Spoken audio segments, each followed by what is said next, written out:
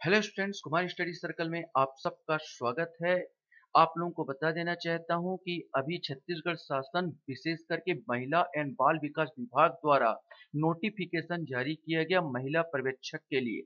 महिला पर्यवेक्षक के लिए नोटिफिकेशन आ चुका है और इनका पद जो संख्या 116 116 तक पद संख्या यहाँ पर है।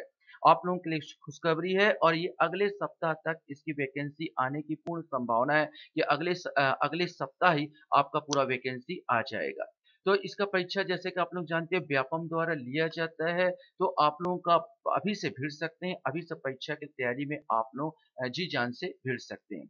ज़्यादा नहीं, इसमें जो मांगा गया था, पिछले बार जो मांगा गया था, ग्रेजुएट होना चाहिए। मैंने स्नातक किसी भी विश्वविद्यालय से आपको स्नातक की परीक्षा पास कर लेनी चाहिए। आपकी आयु 18 से 40 वर्ष के अंडर होनी चाहिए। अगर आप छत्तीसगढ़ के छत्तीसगढ़ के निवासी हैं। अगर आप एस सी है एस टी हैं ओबीसी है तो आपको पाँच साल तक का पाँच साल तक का बेनिफिट यहाँ पर मिल सकता है एज में रिलेक्शन में। ये सारी बातें आपका क्लियर हो जाएगा जस्ट एक सप्ताह एक सप्ताह के अंदर ये पूरी चीज़ें आपको देखने को मिल जाएगी। तो हमारे साथ आप जुड़ सकते हैं क्योंकि मैं यहाँ पर महिला पर्यवेक्षक से संबंधित भी पिछले बार भी तैयारी करवाया था और इस बार भी मैं जोरों शोरों से तैयारी करवाऊँगा।